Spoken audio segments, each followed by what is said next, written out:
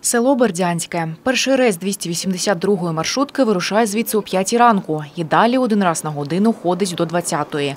Їхати до Маріуполя всього 5 кілометрів, проте коштує така подорож недешево, жаліються місцеві.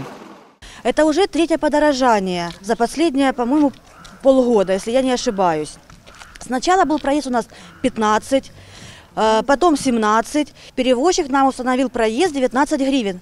И он так интересно установил проезд, что с автостанции мы платим 19 гривен, а в селе вот здесь мы платим э, 17 гривен. Жителі села обурені. Мовляв, вже понад рік вони є частиною Маріупольської громади, проте й досі не мають комунального транспорту. А маршрутка, що їздить з міської автостанції, застара, каже пані Світлана. Водители курят в маршрутке. На автостанции стоит и вы- курит маршрут. Маршрутки старые все.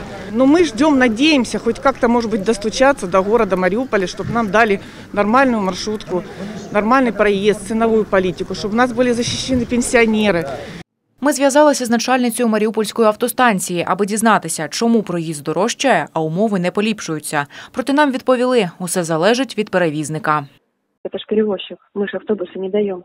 Автостанция оказывает услугу по продаже билетов. А то, что там как бы автобусы дают, ну это уже перевозчик дает. Я не могу вам выбрать автобус более лучше на Бердянское, либо на другое направление. Они считаются как не городской поселок, а пригород, и поэтому там уже устанавливает цены перевозчик.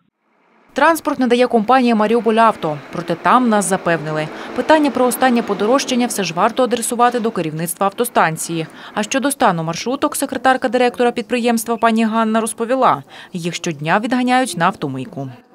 На цены мы влияем. Э, Как бы мы можем повышать тарифы, но не так, как вздумается, не так, как захочется. Последний раз мы тарифы повысили в начале ноября в связи с тем, что выросли цены на топливо. Топливо, обслуживание, запчасти, цены везде выросли, и нам тоже пришлось поднять. В ближайшее, в последнее время, мы не поднимали. Також жінка додала, щодо поганої поведінки водія, чи то куріння, чи ще щось, жодних звернень від громади не надходило. Та коли ж до села запустять комунальний транспорт? Голова Маріупольської районної ради Степан Махсма пояснив, через приєднання великої кількості територій треба переглянути логістику.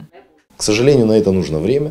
И это время нужно для того, чтобы э, пустить туда э, новое сообщение и новый автобус. Мы сейчас э, в диалоге и с инициативной группой, и с э, департаментом транспорта Мариупольского городского совета для того, чтобы отработать новые маршруты, новые пути сообщения. Однак у Маріупольській районній раді пообіцяли, до усіх околиць міста транспорт обов'язково пустять протягом року.